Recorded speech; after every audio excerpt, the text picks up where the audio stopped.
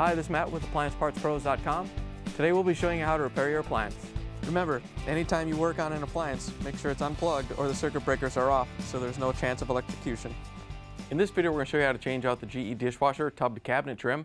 It's going to be a very easy repair and only take a few minutes to show you how to do it. If you already have one of these, great. If not, you can click on the link below or get it at AppliancePartsPros.com. When you open up the package, you're going to get the new tub to cabinet trim. The tub to cabinet trim is located on the right side of the tub and it takes up the gap in between the tub and the cabinets. The main reason you'll be changing it out is if it's lost or damaged. In order to change the part, we have to pull the dishwasher out a little bit. First thing we're going to do is open up the door and use the Phillips screwdriver to take out the screws that hold it to the countertop.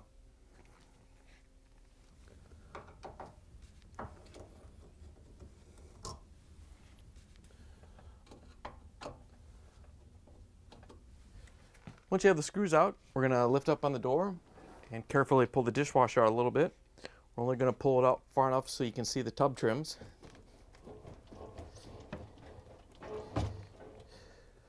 Now that we have the dishwasher pulled out, we have access to the tub to cabinet trims. There's three of them on the tub.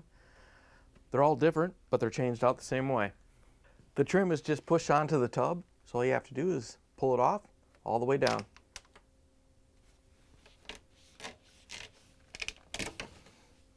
Once you have it free, you can pull it off the dishwasher. Here's the old tub to cabinet trim next to the new one. If you already have one of these, great. If not, you can get it at appliancepartspros.com. To put the trim on, all you have to do is press it onto the tub frame right here. And when you get down to the bottom, you want to make sure it goes in between these two pieces. Don't try to wrap it around both. To put it on, you just want to line it up with the little cutout on the upper trim and push it on. And then just push it on all the way down.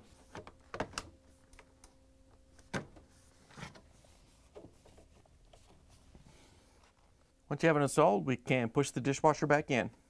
We're going to close the door and carefully push it back in.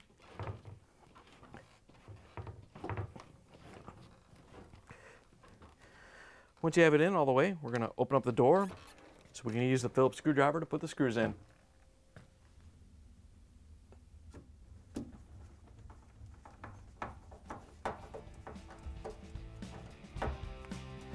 Once you have the screws in, we can close the dishwasher door, plug it back in, and take it for a spin. Thanks for joining us for another successful repair brought to you by AppliancePartsPros.com. Check out our other repair videos on our site, Facebook, and YouTube.